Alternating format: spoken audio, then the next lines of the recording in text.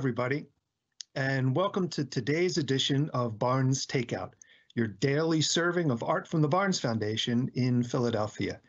I'm Bill Perthes, the Bernard C. Watson Director of Adult Education at the Barnes Foundation, and my colleagues and I are taking some time each day to share some of the objects and paintings that we're particularly interested in in the collection and saying something about them, sharing the, our observations with you.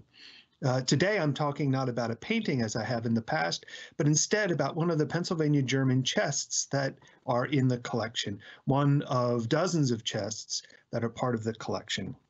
It's the chest that you see here, and here it is, and the ensemble in which it's placed. So this is gallery 13 uh, and we're facing north.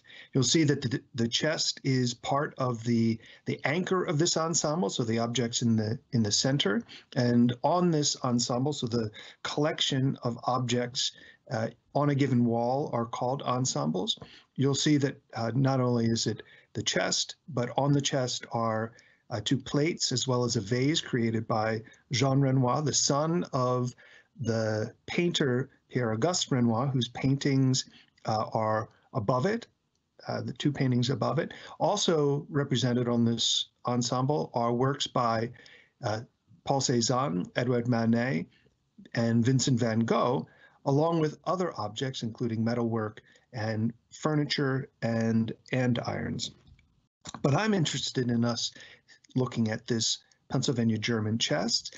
Uh, and uh, just to clarify why I'm calling it that, it's I know it's the, it's often described as Pennsylvania Dutch, uh, but the the immigrants who made this did not come from uh, the Netherlands, but instead came from Germany.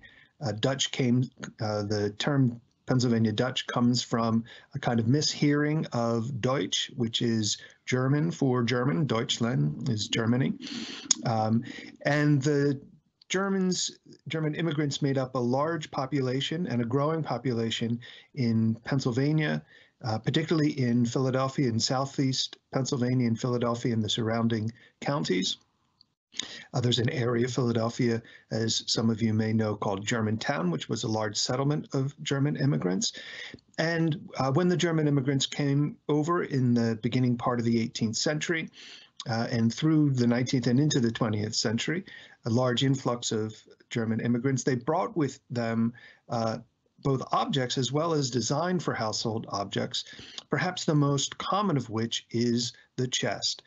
So this object uh, would likely have been probably the primary piece of furniture, certainly in a given room, um, and perhaps even within a within a house. Uh, the kinds of uh, things that would have been stored in this chest would have been a, a wide range of things from clothes to linens, uh, other personal items, as well as uh, potentially things that were of some value. You'll notice that on the face of this chest, there's uh, an opening at the top near the lip of the uh, of the lid where there's a lock, and the center drawer also has a a lock on it. So valuable things could have been stored in it uh, and then locked for safe keepings. So part of the reason that I chose this chest is first, it's one of the chests uh, whom the maker of whom we we know, or at least we think we know. It's attributed to John Bieber, and that Bieber, that name sounds familiar. I, can't quite place where we might know that today, but it's a, a long familiar German name. Um, and not only that, uh, it, this is one of two chests attributed to John Bieber or to the Bieber family. This was a family of craftsmen that worked in Berks and Lehigh County, uh, just north of Philadelphia, where we are. Um, but also that it's a remarkably and elaborately decorated chests, chest.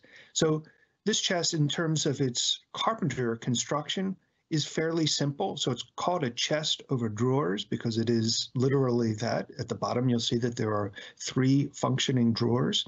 Uh, above it uh, is a chest with a hinged lid. And in a second, I'm going to give you a, a peek inside. Um, so the construction is fairly simple, but the way that it has been de- decorated is really quite quite elaborate and quite remarkable. Much of the design on the chest would have been created, much of the detail uh, of the design on the chest would have been created with um, a carpenter's compass, sort of like a protractor, that would have allowed the the carpenter, the painter, carpenter painter, to uh, create these really elaborate designs on it. Uh, the heart shape that you see flanking the center pillared arch uh, is a design also that's uh, very closely associated with Lehigh and Berks County. It's another way that we can uh, more firmly locate the origin of the chest, even though it's not signed by its maker. Uh, but something we do know about it is the individual for whom it was made, as well as the date that it was made. So on the pillared arch, we see the name of the individual for whom it was made, Michael Fink, F I N K, uh, and the year 1789. And that also puts us right in the time frame uh, that uh, John Bieber was creating. Bieber's uh, dates were 1763 to 1825. Um, what makes the design on this uh, chest so striking is how complex and elaborate it is. So, for instance, if we look at details such as the the hearts, it's not only the design of the hearts, which is a familiar design, but within that we have these circled medallions and then these pinwheel designs. And each of these pinwheels does each of these designs actually both the medallion itself as well as the pinwheel design would have been made by way of a um, a compass or that protractor. So the carpenter painter was very skilled at adapting the very simple technique of a circle or a portion of a circle to create elaborate designs. That's how he would have set out the It's also how he would have set out this chain design that we see running along the top as well as down the side. And if you look at the chain design, notice how uh, care was put so that the portions, the, the half circles of those interweave with, e with each other. So some go on top, some go underneath. You'll notice that as they come come down from the top, each one comes between the V shape of the bottom one, and that it's not merely a single line, but a double line that gives it gives the design some depth. And we see that interest in a double design throughout the uh, throughout the design on the chest. In addition, not only do we have the linear patterns, but then we have the color patterns. So you'll notice that a sponge technique was used uh, th throughout in fields of both red as well as black, and that adds variety to it. And you'll notice that even within that, the sponge technique is varied. So for instance, the sponge technique that was used on the red field is different from the sponge technique that was used on the black field. So again, sort of compounding the complexity of the decoration. And if we look at the drawer, notice that again, such care in detail was uh, was taken. So we have the face of the drawer with its complex design on it. But then the drawer it has a molded edge to it, and that the edge of the drawer was painted a contrasting color. The, that the same color that's used on the sponge design on the face of the drawer is used on the uh, face of the chest itself, but in a solid field.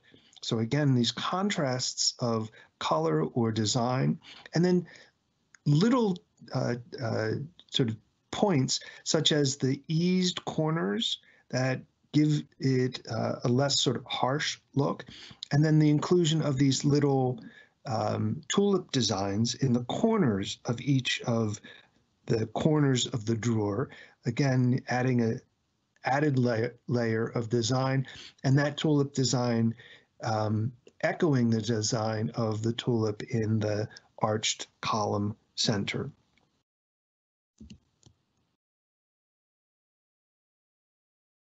I promised I would show you some of the interior. So here, uh, one of our preparators and I work together to look inside. Uh, you'll see some of the really fine details inside. The top, which is uh, more than 52 inches long and 30 inches deep, is made up of two boards. The board at the top of, of the image here is a, is a remarkably wide board. This is out of this chest is made out of pine. This is the size of board that would be very difficult to find today, but was quite common uh, back in the 18th century as they were felling still virgin um, pine forests. And you'll notice that um, the way that the those two boards were joined together were with these butterfly joints, these uh, very delicate um, and decorative butterfly joints, and that the the top is hinged to the back with these long strap hinges, and that inside, there's the top of the of the chest. That inside, there's a little box with a hinged lid.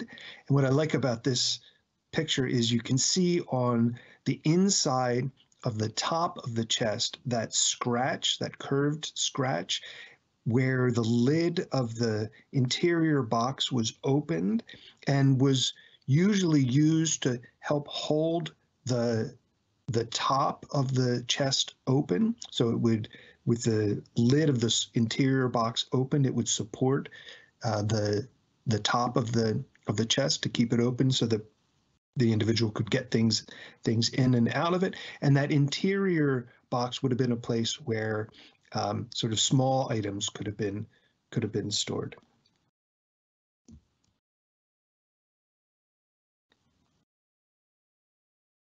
Going back to the overall chest, one of the things that Barnes, our founder Albert Barnes, particularly appreciated in these these objects were the fact that they were things that were used every day. And the top of the chest, as you saw uh, in the previous image, is fair is well worn so that we see little of the design left and that's something that Barnes would have really appreciated that this box this chest rather really shows um, the usefulness the utilitarian nature of the object but that it's an object that was used daily that was an essential part of a household but that had been invested with such remarkable uh, decor decorative uh, designs on its exterior. So I hope the next time you come to the Barnes Foundation, you uh, look at the Pennsylvania German chests in the collection. They're sometimes overlooked uh, because of the re remarkable collection of paintings that we have, uh, but it's really an outstanding collection of uh, Pennsylvania German German chests. So I want to thank you for watching today. As I said at the top, I want to encourage you to subscribe to this uh, these takeouts to get them in your inbox each weekday. I would also like to encourage you to leave comments below here. We really like to hear from uh, from our viewers, and I hope you'll watch again uh, in an upcoming episode. Thank you. Take care. I'm Thom Collins, Neubauer Family Executive Director of the Barnes Foundation. I hope you enjoyed Barnes Takeout. Subscribe and make sure your post notifications are on to get daily servings of art. Thanks for watching and for your support of the Barnes Foundation.